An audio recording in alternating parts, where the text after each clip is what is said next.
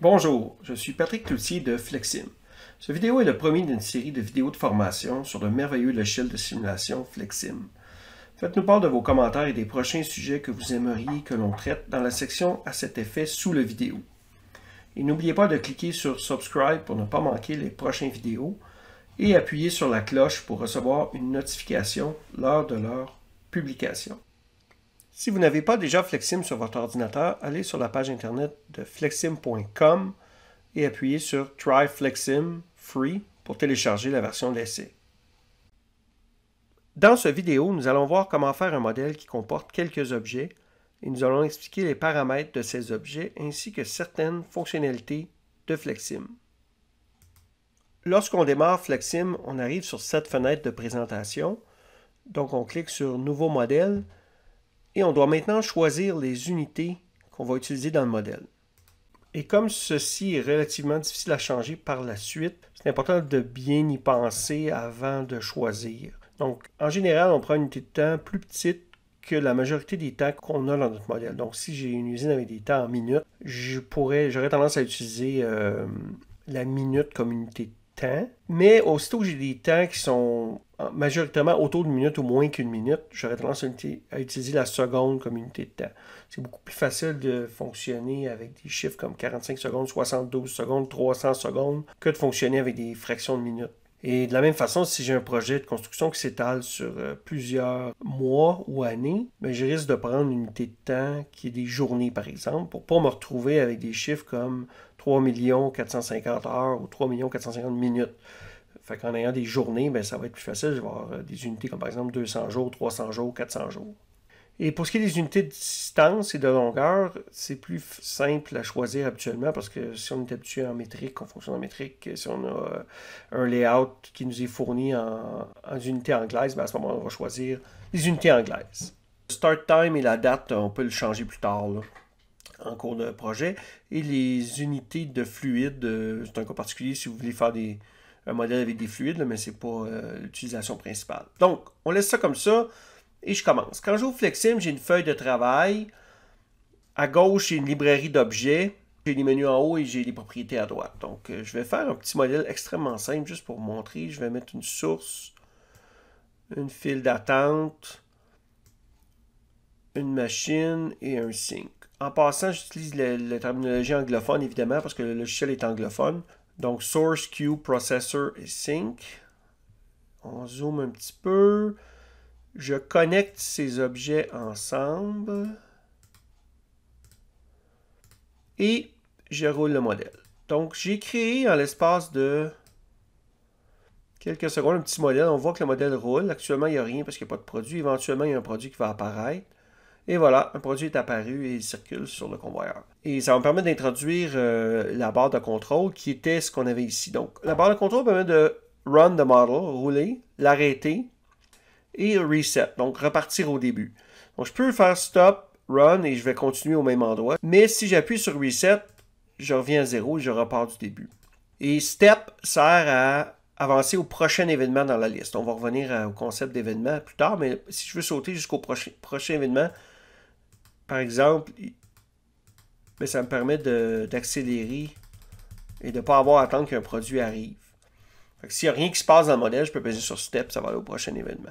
Donc, j'ai fait un petit modèle très simple, je peux le faire rouler plus rapidement, aussi vite que je veux. Si je le fais rouler très vite, il euh, n'y a pas grand-chose qui se passe parce que donc, le graphisme ne suit pas. Donc, généralement, on le met, on essaie de le mettre autour d'une vitesse raisonnable. Si je le mets à 1, ben, ça va être la vitesse comme en temps réel. Par défaut, le logiciel, lorsqu'on l'ouvre, lorsqu'on démarre un nouveau modèle, il est à 4. Donc 4 fois plus vite que la réalité. Donc j'ai fait ce petit modèle. On va faire le tour un petit peu des différents paramètres des objets que j'ai mis ici. Donc euh, le premier objet que j'ai mis, c'est une source. Si je clique dessus, j'arrive dans ces paramètres. La source, c'est un objet principal très important qui permet de générer des produits. Je vais définir le temps interarrivé de ces produits-là, définir quel produit, quelle forme, quelle image, et je vais définir le, temps. Donc, si j'ai un temps interarrivé, bien ici, c'est un, ça, va être l'intervalle de temps entre chaque produit qui arrive. Et je vais cocher si je veux avoir un produit qui arrive au temps zéro, ce que je peux faire dans mon modèle ici. pour que dès le démarrage, j'ai déjà un produit parce que j'ai défini l'arrivée au temps zéro. Et je pourrais mettre d'autres choses. Je peux mettre un cylindre au lieu d'une boîte. Et je peux choisir d'autres produits. Et on va voir plus tard comment aller changer euh, ces produits-là ou en, définir des customs. Mais déjà en partage, je, peux même utiliser les personnes comme des produits. Euh, je peux utiliser des palettes. Et palettes, c'est un type de produit qui est un contenant. Donc, je vais utiliser la palette pour pouvoir mettre des produits dessus. Même chose pour un tote. Un tote, c'est euh, une bin. Et je, peux, je vais pouvoir utiliser aussi un camion, qui est un autre type de contenant. Bon, évidemment, dans mon modèle ici, c'est plus ou moins logique d'avoir un camion qui circule sur une machine, mais juste pour illustrer. je vais remettre ça en boîte pour le moment. Donc ici, je définis qu'est-ce qui arrive et à quelle fréquence. Donc, une autre façon de le faire arriver, au lieu d'être une, fréquence ou un temps arrivé, ça va être une cédule, ou même, avant même de parler de la cédule, je parlais de la séquence. Donc, une séquence, je définis quel produit arrive dans quel ordre? Donc, par exemple, je pourrais avoir euh, quatre ou trois produits différents. Le produit A, le produit B, le produit C. Et je fais toujours euh, disons, 7 produits A, ensuite suivi de 2 produits B et ensuite un produit C. Et je répète cette séquence. Donc, si je fais rouler mon modèle, on a vu que ma file d'attente s'est remplie instantanément quand j'ai démarré le modèle. Pourquoi? Parce qu'il n'y a plus de temps dans une séquence. Une séquence, c'est les produits sont faits dans cet ordre-là. Et donc, si je clique sur les produits au fur et à mesure qu'ils sont faits, si vous voyez le nom dans la, boîte ici, correspond à la séquence qui est là. je vais toujours en avoir 7, 2, 1, 7, 2, 1, 7, 2, 1. Si je veux rajouter une notion de temps, j'utilise ce que j'appelle à ce moment-là une cédule. Et là, dans la cédule, je vais faire arriver à des temps précis certains produits en certaines quantités. Donc, au temps zéro, je peux avoir des produits A, je peux en avoir 7. Après, à 10 unités de temps, je pourrais dire que je veux des produits B et j'en veux 3 ou j'en veux 2 à ce temps-là, je vais avoir des produits C et j'en veux un. Et ensuite, à ce temps-là, je vais avoir des produits D et j'en veux 5. Donc, une autre façon de représenter. Et là, évidemment, ils n'apparaissent pas tous parce que j'ai une notion de temps. Là. Comme je suis juste au temps 6.75, j'ai juste la première ligne qui a été exécutée. Donc, j'ai 7 produits, tous de type A. Mais aussitôt que je vais arriver à 10. Tac, je vais l'arrêter. Là, j'ai des nouveaux produits qui sont arrivés et je devrais avoir deux produits de type B. Exactement. Etc. Donc, comment faire les arrivées?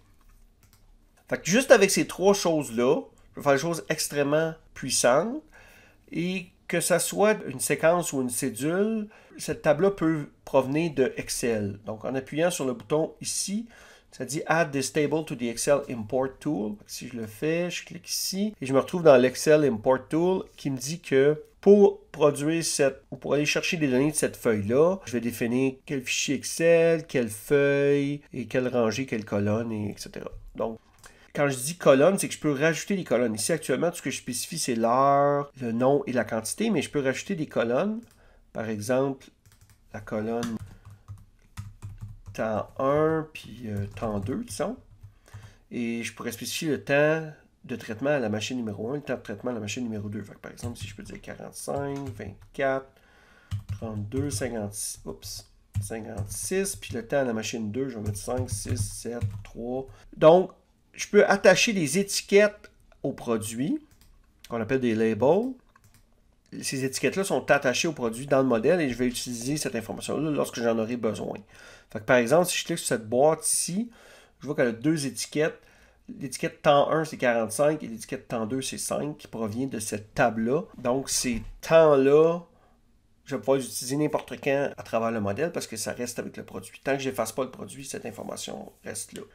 Ensuite, euh, on a fini l'onglet, on a fait le tour de l'onglet source, c'est-à-dire l'onglet spécifique à la source. Et vous allez voir, chacun des objets dans FlexSim a un onglet spécifique. Si j'ouvre la queue, donc la file d'attente, il y a un objet spécifique à la queue. Si j'ouvre le processeur, il y a un onglet spécifique au processeur. Même dans ce cas-ci, il y en a deux. Donc, la plupart des objets ont un onglet spécifique et ils ont aussi des onglets génériques. Donc, les onglets génériques, habituellement, c'est Flow, Trigger, Labels et Général. Et ces onglets d'information sont les mêmes pour pratiquement tous les objets de Flexim.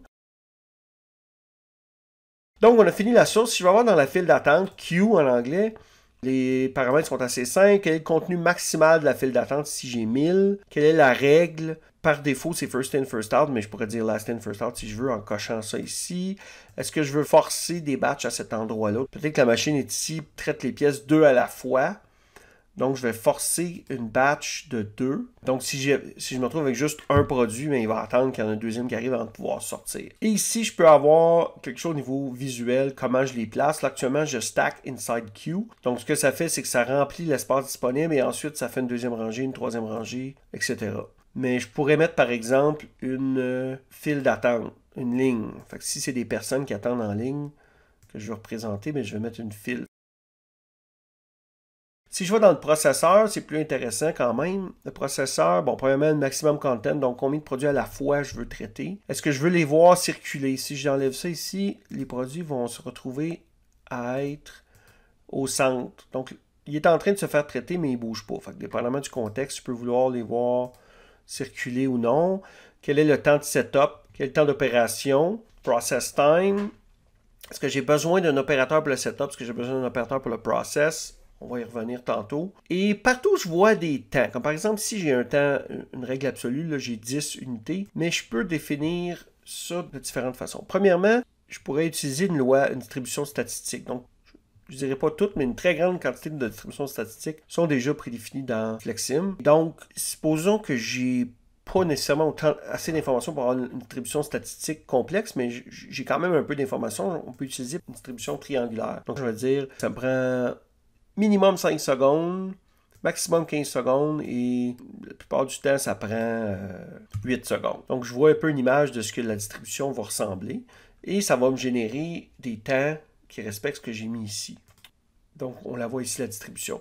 Même chose pour les temps de setup, même chose pour les temps de tout. Partout où il y a des temps, je peux utiliser des distributions statistiques. Je peux aussi utiliser tout simplement la, valeur de la variable. Fait que ici, je pourrais dire item, point, temps 1. C'est la façon d'adresser la variable le plus simplement possible. Et à partir de maintenant, le temps va vraiment dépendre. Là, ici, je vois que le produit circule très, très lentement parce que j'avais un temps de 45 secondes euh, associé à ce type de produit-là, si on se souvient.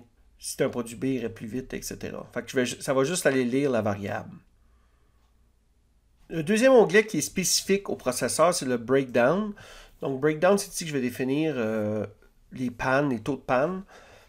Donc, en anglais, mean time between failure, mean time to repair. Donc, par exemple, je vais rajouter une règle pour le processeur 1, une fonction. Donc, à partir de à quel moment est-ce que la première panne arrive, euh, combien de temps les pannes durent, quel, combien de temps s'écoule entre les pannes? Et qu'est-ce qui se passe? Par défaut, ben, j'arrête l'objet lorsqu'il y a une panne et je le repars lorsque la panne est terminée. Mais cette fonction de panne-là peut être euh, spécifique à cette machine-là ou à plusieurs machines. Dans ce cas-ci, il y a seulement le processeur 1, donc cette machine-là qui, subit cette panne-là, mais je pourrais avoir plusieurs machines qui utilisent la même règle, comme je pourrais avoir plusieurs machines qui utilisent des règles différentes. Donc, une fois que j'ai défini ma fonction, elle se retrouve ici dans la liste des pannes potentielles de cette machine-là. Et je pourrais avoir plusieurs types de pannes ou de failure associés à une machine. Donc, c'est vraiment très, très flexible. Et de la même façon, je vais définir des timetables. Timetables, par exemple, l'horaire de travail, quand est-ce qu'il y a des pauses, quand est-ce qu'il y a des, dîners. Donc, en, en, appuyant sur Add ici. Mais je vous garde les timetables pour un prochain vidéo. Donc, le dernier objet qui nous reste dans notre modèle à voir, c'est le sync. Le sync, tout ce qu'il fait, il n'y a même pas de paramètres en fait. tout ce qu'il fait, c'est on élimine les produits du modèle. Ça ne veut pas dire que j'ai besoin d'un sync. Dans certains cas, je vais utiliser un entrepôt ou une file d'attente pour accumuler les produits. Mais si j'en ai vraiment plus besoin, j'ai intérêt à les éliminer parce que le modèle peut devenir lourd si j'ai des milliers de produits qui s'accumulent dedans. Une chose que j'ai oublié de mentionner, n'importe où, dans n'importe quel objet, si j'appuie sur le point d'interrogation en bas ici, je tombe dans le manuel d'instruction à la page spécifique à cet objet-là. Donc là, ici, je tombe dans la page qui parle des propriétés de la queue, la file d'attente. Si je monte jusqu'en haut, ben, je suis dans le menu de la queue.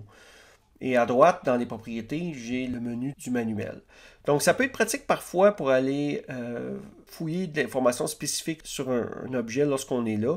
Donc, par exemple, je peux voir comment fonctionne la queue, c'est quoi sa logique, etc., les propriétés, comment ils fonctionnent. Parfois, ça peut être lourd d'avoir le manuel qui s'ouvre dans une même page que notre modèle et ça peut prendre de l'espace.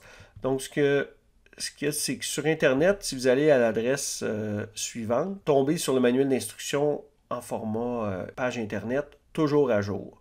Donc ici, il y a les, différentes dernières versions du logiciel. Donc on est, je suis dans 19.2, mais euh, tout, tout, tout, tout, tout est là. C'est l'intégrale copie du, du manuel et vous avez une option d'imprimer des pages, et etc., etc.